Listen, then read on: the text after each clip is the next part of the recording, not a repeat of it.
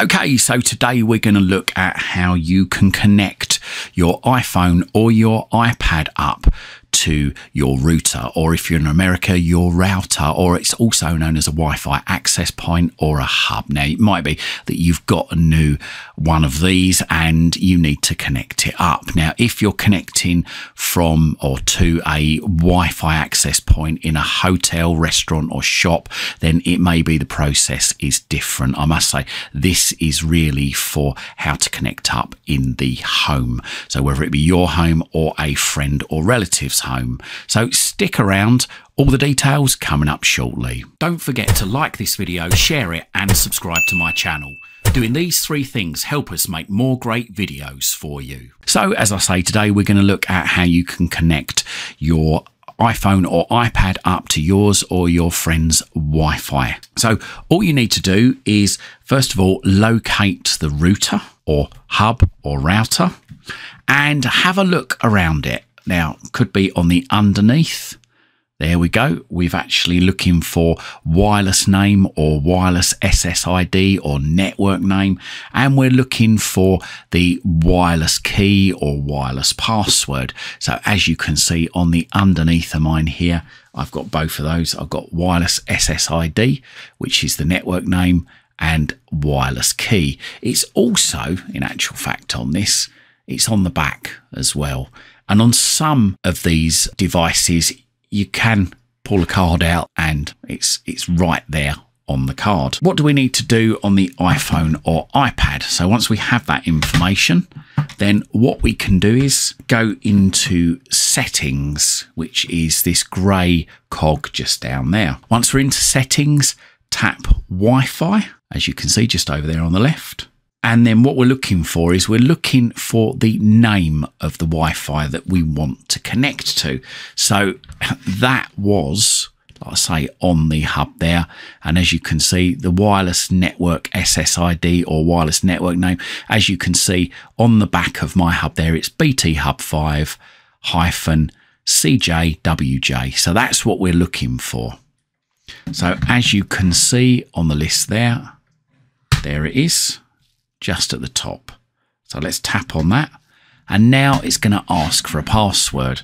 And the password it's now asking for is this password here, the wireless password or wireless key, not the admin password, the wireless password or wireless key. So let's just type that in. There we go. It's 428. And it is case sensitive, I must say that as well. DF D6985. So, like I say, it is case sensitive. If there's any capital letters in here, then you need to put them in the password as capital letter. Once we're ready, once we're sure we've typed in the right code, then we can just tap join just up there in the top right hand corner. And the little circle will spin round for a bit.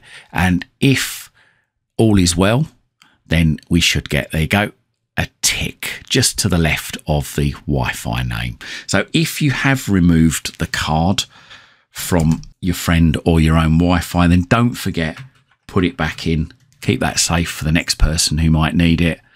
So there we go. That's how you connect. Now, how do you disconnect? Well, you don't have to disconnect from the Wi Fi, but there might be times when you think, oh, I might want to disconnect if you don't disconnect, it means the next time you visit your friend or your relative or wherever you're connecting to, it should connect automatically. You shouldn't have to put that password in again.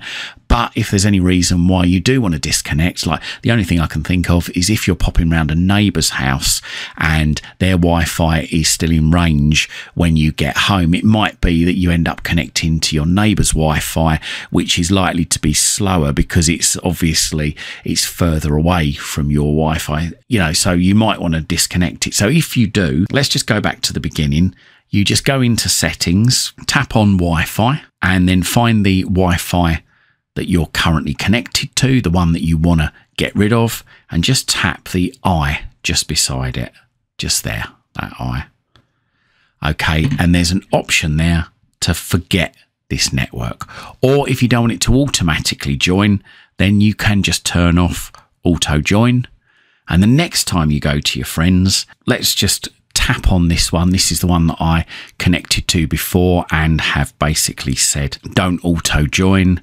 So let's just do that. Let's just tap on the actual name rather than the I. And as you can see, the circle's spinning. And then what it's going to do is there you go. It's going to tick the box there or tick to the left of it. And that means it's connected. Now, if you want to completely get rid of it, okay, tap on the I just to the right of it and then tap forget this network. Okay, and then tap forget.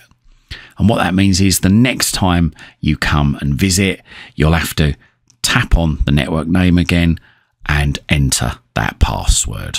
So there you go. That guide showed you how you can connect to a wireless network using your iPhone or iPad. This particular iPad was running iOS 17. I hope you liked this video and I hope you found it helpful. And if you did, consider hitting that thanks button and making a donation to this channel. Or have a look down below in the description if you want to have a look through my Amazon store or you're in the market for a new VPN or a Fire Stick, Fire TV Cube or Fire Stick accessories. We've got loads of links down there for you. Donating, buying and subscribing really does help support this channel. It helps me to be able to dedicate more time to spend researching and bringing you these great videos. And whilst you're at my YouTube channel, why not stick around? I've got thousands of other videos for you right here, right now, covering all sorts of subjects. Hopefully, whilst you're here, you're going to find something to educate you, entertain you, amuse you, and maybe even save you some time and money. And also, whilst you're at my YouTube channel, if you see any videos you think your friends, your family, or your work colleagues might like, then please don't forget to share these on your social media media timelines. Thank you very much for watching.